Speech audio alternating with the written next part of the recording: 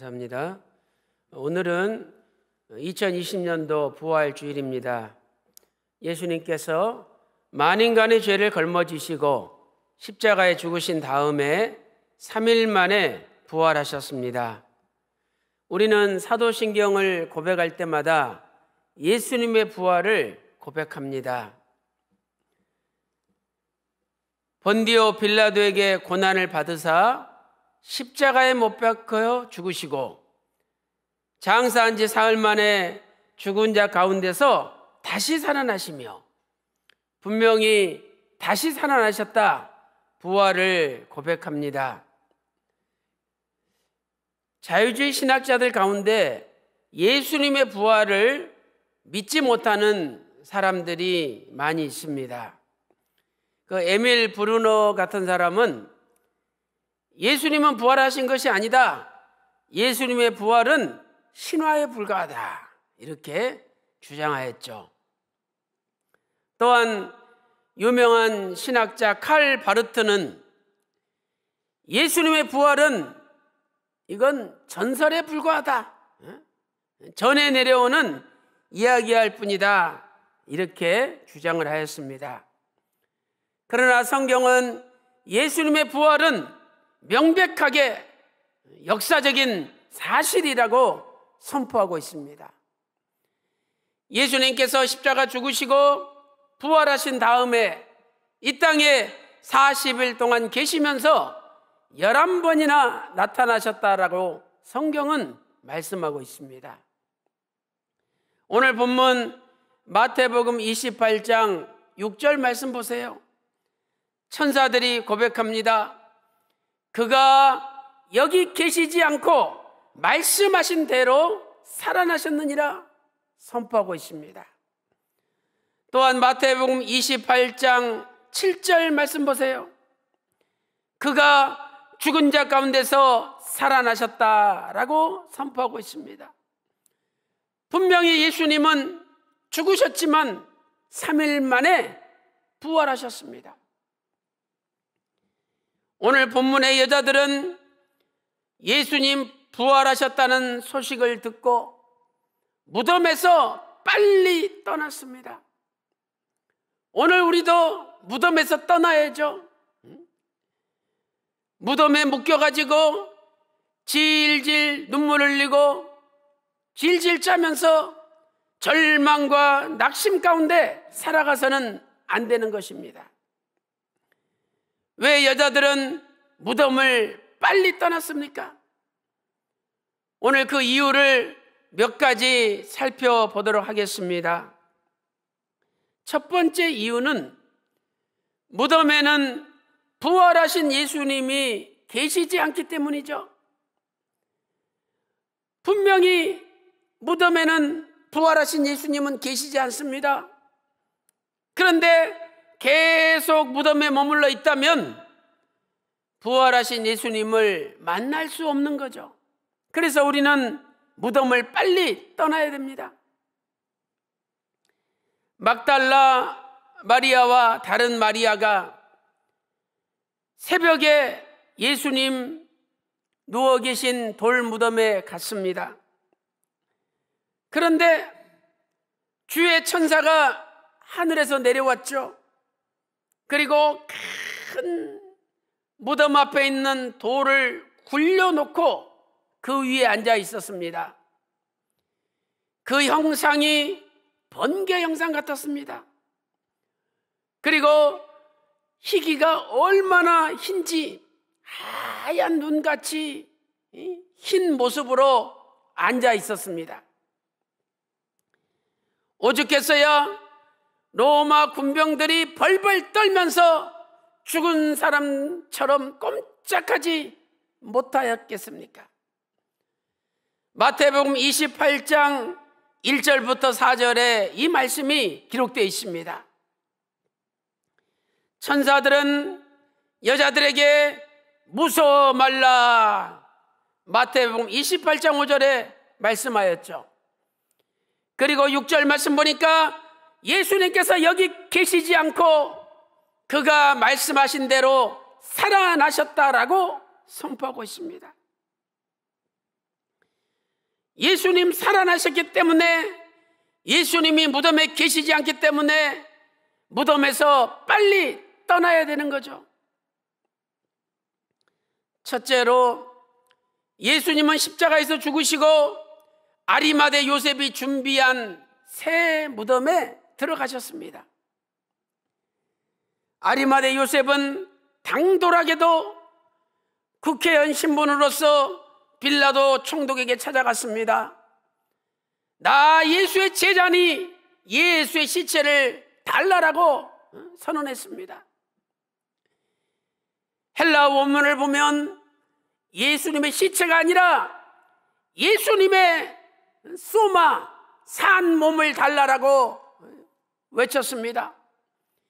아리마대 요셉은 예수님이 죽었지만 그분은 다시 사실 뿐이요. 영원부터 영원까지 살아계시기 때문에 죽지 않은 분이라고 믿고 예수님의 살아있는 몸을 달라고 빌라도에게 외쳤던 것이죠. 마태복음 27장 60절 말씀 보니까 바위 속에 판 자기 새 무덤에 예수님을 장사 지냈습니다. 두 번째로 예수님께서 부활하신 후에 무덤은 비어 있었습니다. 예수님 부활하셨으니까 무덤이 비어 있는 거죠. 누가복음 24장 3절 말씀 보세요. 누가복음 말씀을 자세히 보면 이 여자들이 무덤 속에 들어가서 확인을 했습니다. 누가복음 24장 3절 말씀 보니까 무덤 속에 들어가니 주 예수의 시체가 보이지 아니하더라. 분명히 여자들이 무덤 속에 들어갔어요. 확인해 봤더니 예수님 보이지 않았습니다. 아, 세상적으로 볼 때 시체가 스스로 움직일 수가 없죠.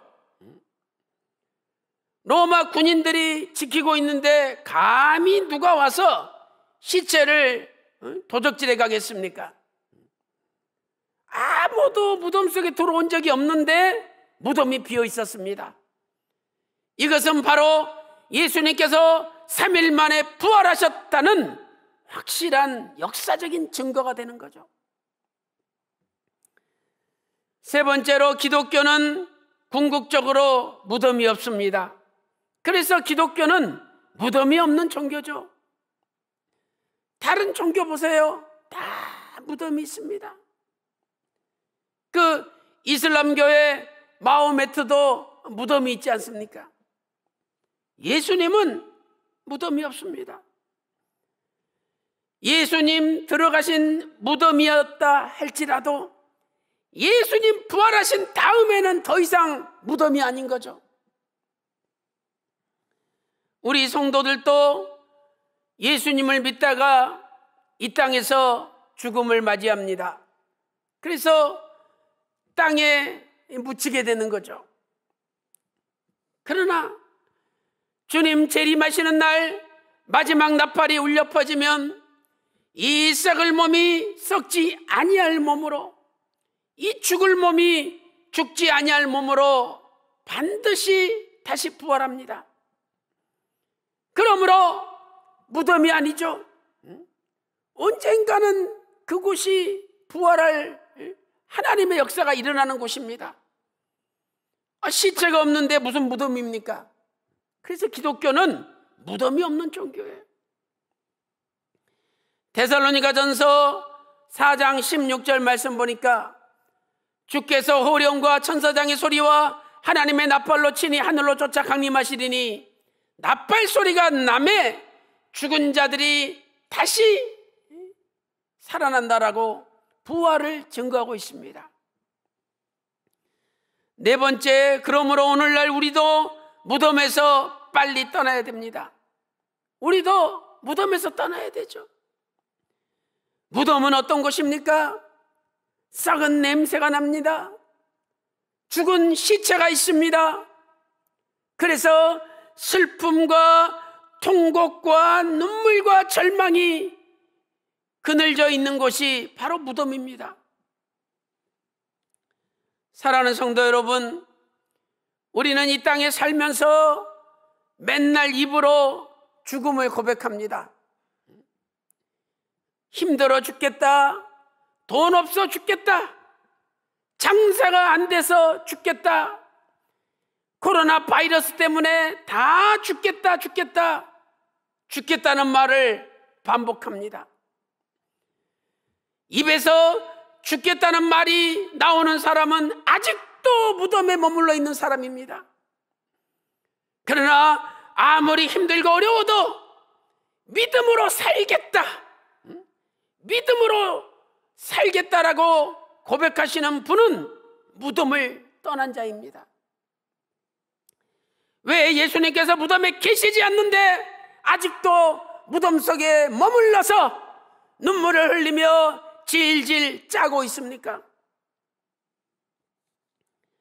무덤에 묻히신 예수님만 믿지 말고 사망 권세를 깨뜨리시고 박차고 부활하신 예수님을 우리는 믿어야 됩니다. 예수님의 부활은 곧 나의 부활이죠. 로마서 6장 8절 말씀 보세요. 만일 우리가 그리스도와 함께 죽었으면 그와 함께 다시 살 줄을 믿노니 예수님과 함께 죽었으면 예수님과 함께 다시 살 줄을 믿어야 된다는 거죠. 고린도 후서 4장 14절 보세요. 고린도 후서 4장 14절에 주 예수를 다시 살리신 이가 예수와 함께 너희를 다시 살리실 줄 믿노니 아버지께서 예수님을 다시 살리셨습니다. 그런데 그 아버지께서 예수와 함께 우리도 다시 살리신다는 거죠.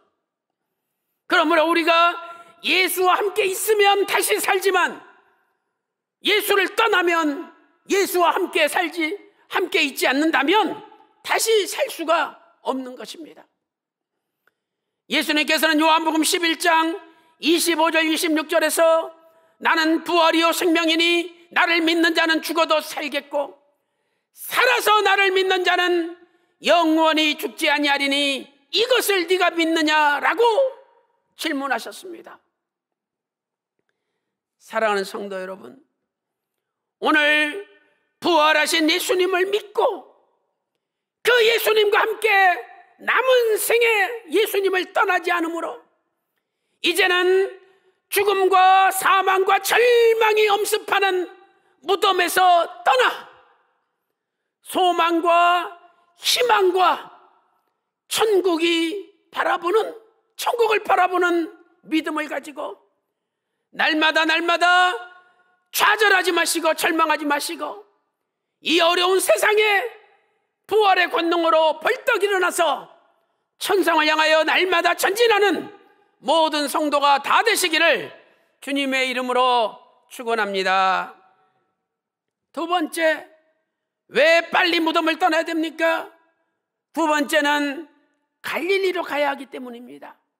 갈릴리로 가야 하기 때문이죠. 천사들이 여자들에게 말합니다.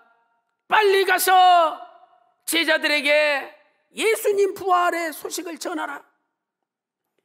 그러면서 예수님이 어디 가신다라고 말했습니까? 마태복음 28장 7절 말씀 보니까 너희보다 먼저 갈릴리로 가시나니 갈릴리로 가시나니 거기서 너희가 주를 뵈리라.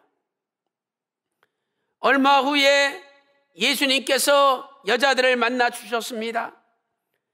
예수님께서도 여자들에게 무엇이라고 말씀하셨습니까? 마태복음 28장 10절 말씀 보세요.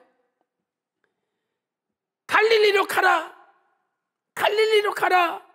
거기서 나를 보리라. 이렇게 예수님도 말씀하셨습니다. 예수님은 더 이상 무덤에 계시지 않고 갈릴리에 계십니다. 그러므로 갈릴리로 가야 예수님을 만날 수 있습니다. 왜 부활하신 예수님께서 갈릴리로 가셨을까요? 이스라엘에 수많은 도시들이 있는데 아니 이스라엘의 수도인 예루살렘에 가실 수도 있는데 왜 예수님께서 어? 그 예루살렘에서 제자들을 만나 주지 않으시고 갈릴리로 오라고 말씀하셨습니까? 첫 번째로 이미 선포하신 말씀을 성취시키기 위해서입니다. 이미 선포하신 말씀을 성취시키기 위해서죠. 예수님께서 십자가 달리시기 전에 내가 갈릴로 가겠다라고 약속하셨습니다. 그 말씀이 마태복음 26장 32절에 기록되어 있습니다. 내가 살아난 후에 너희보다 먼저 갈릴리로 가리라 약속하셨습니다. 또한 예수님께서 그 말씀을 반드시 성취하셔야 되기 때문에 예수님은 그 말씀을 성취시키기 위하여 갈릴리로 가셨던 것이죠. 사람들은 말을 해놓고 지키지 않습니다. 우리가 주변에서 얼마나 많이 봅니까? 아, 내가 꼭 하겠습니다. 꼭 갖겠습니다. 꼭 그 말씀대로 이루겠습니다. 대답은 잘하죠. 그러나 자기에게 어려운 일이 닥치면 절대로 자기 일을 먼저 하지 자기가 입으로 약속한 일을 하지 않습니다. 그것이 인간들이에요. 그러나 예수님은 성자 하나님이십니다. 예수님께서는 하나님이시기 때문에 한 번 입에서 나간 말씀은 반드시 이루시는 분이에요. 그래서 우리가 성경을 믿어야 됩니다. 성경은 100% 하나님의 말씀이요. 성경에 기록된 모든 하나님의 말씀은 반드시 이루어집니다. 인류의 구속사도 하나님의 말씀대로 이루어지게 돼 있는 거죠. 이사야 55장 11절 말씀 보세요. 이사야 55장 11절에 내 입에서 나가는 말이 헛되이 내게로 돌아오지 아니하고 절대로 헛방으로 돌아오지 않습니다. 나의 뜻을 이루며 나의 명하여 보낸 일에 형통하리라 말씀하고 있습니다. 두 번째, 왜 갈릴리로 가셔야 됩니까? 두 번째는 제자들의 첫 사랑을 회복시키기 위해서입니다. 제자들의 첫 사랑을 회복시키기 위해서죠. 예수님께서 열두 제자를 부르실 때 처음에 어디서 불렀습니까? 예수님이 갈릴리 호수에서 제자들을 불렀습니다. 베드로와 안드레가 그물을 던지고 있었죠. 예수님께서 마태복음 4장 18절에 베드로와 그 형제 안드레를 부르실 때 갈릴리 호수에서 부르셨습니다. 마태복음 4장 19절에 나를 따라오너라 내가 너희를 사람을 낚는 어부가 되게 하리라 약속하셨습니다. 20절 말씀 보니까 제자들이 그물을 버려두고 예수를 곧 쫓았다라고 기록하고 있습니다. 그런데 지금 예수님의 제자들은 어디에서 무엇을 하고 있습니까? 예수님께서 내가 너희들보다 먼저 갈릴리로 가리라 약속하셨죠. 제자들도 갈릴리로 갔습니다. 그런데 그들은 갈릴리에서 다시 예수님께 부르심을 받기 전에 물고기를 잡는 직업, 업으로 다시 돌아갔습니다. 요한복음 21장 3절 말씀 보세요. 베드로가 다른 제자들에게 얘기합니다. 나는 물고기를 잡으러 가노라. 제자들이 베드로를 따라왔죠. 그래서 밤새도록 고기를 잡았는데 아무것도 얻지 못했습니다. 제자들은 사람을 낚는 어부가 되어야 하는데 지금 물고기를 낚는 업으로 돌아갔습니다. 그래서 예수님께서 제자들을 다시 만나 주시고 제자들의 잃어버렸던 첫사랑을 회복시켜 주셔서 다시 한번 그들이 사람을 낚는 업으로 쓰임 받도록 하신 것입니다. 사랑하는 성도 여러분, 오늘 저와 여러분은 언제 어디에서 처음 주님의 부르심을 받았습니까? 그런데 지금 오늘 저와 여러분은 어디에서 무엇을 하고 있습니까? 주님께서 우리를 사람을 낚는 업으로 세우셨는데 사람은 낚지 않고 무엇을 하고 있습니까? 우리의 인생은 돈 버는 것이 목적이 아닙니다. 사업하고 장사하는 것이 최종적인 목적이 아닙니다. 사람을 낚는 어부가 되게 만드셨어요. 그래서 이 땅에서 선교하고 하나님 나라를 확장하기 위해서 돈도 벌고 장사도 하고 사람도 만나고 일을 하는 것입니다. 목적이 뚜렷하지 않는 일은 아무런 의미가 없습니다. 예수님의 제자들 예수님 십자가 죽으신 것만을 생각하고 고향으로 돌아가서 물고기 잡는 업으로 다시 돌아갔습니다. 첫사랑을 잃어버렸어요. 요한계시록 2장 4절 말씀 보니까 에베소 교회를 향하여 책망하셨습니다. 내가 너희에게 책망할 것이 있나니 너희가 처음 사랑을 버렸느니라. 회개하라. 처음 사랑을 버려버렸대요. 사랑하는 성도 여러분, 오늘 저와 여러분도 부활주의를 맞이하여 다시 갈릴리로 가서 예수님께서 내가 너희를 사람을 낚는 어부가 되게 하리라 하셨던 그 첫사랑의 순간을 회복해야 됩니다. 그래야 우리 인생이 의미가 있는 인생, 가치가 있는 인생으로 바꿔지는 것입니다. 바라옵기는 오늘 부활주의를 맞이하여 다시 한번 주님께서 나를 언제 부르셨는지, 어디에서 부르셨는지 깊이 돌아보는 가운데 잃어버린 첫사랑을 회복하고 사람을 낚는 업으로 남은 인생 하나님 앞에 쓰임 받으시기를 간절히 소망합니다. 세 번째로 왜 빨리 무덤을 떠나야 됩니까?